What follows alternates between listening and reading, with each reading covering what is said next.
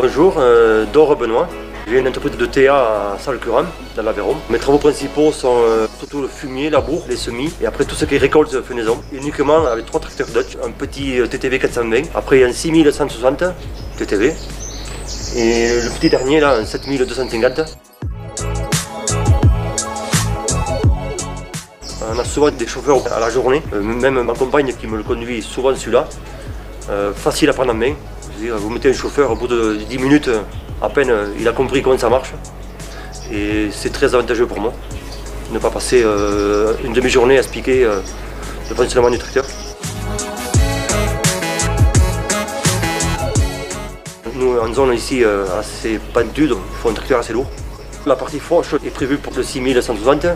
Dès que l'on peut, euh, la, partie faucheuse frontale et arrière se, se met à 7000.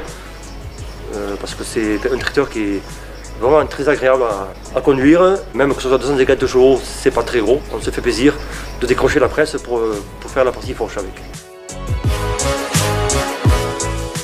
La différence que j'y trouve, c'est la nouvelle, la nouvelle cabine séparée du bloc moteur.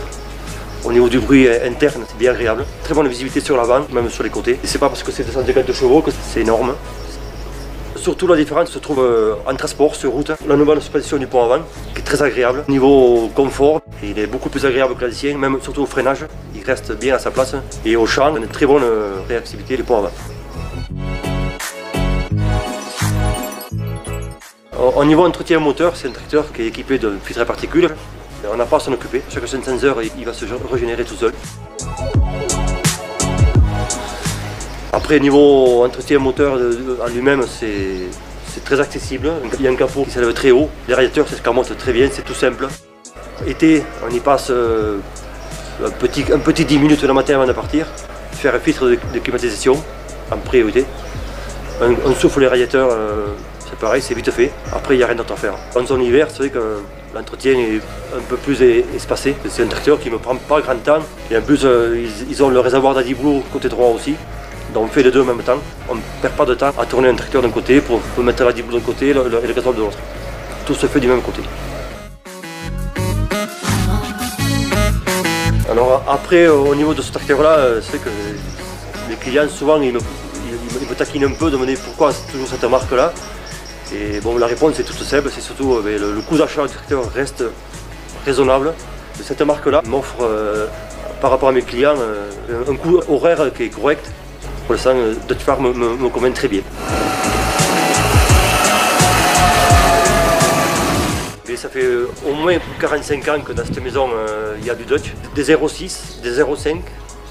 Après, on est passé sur les, tout premiers DX qui sont arrivés, DX85, il y a eu ici. On a eu un DX650.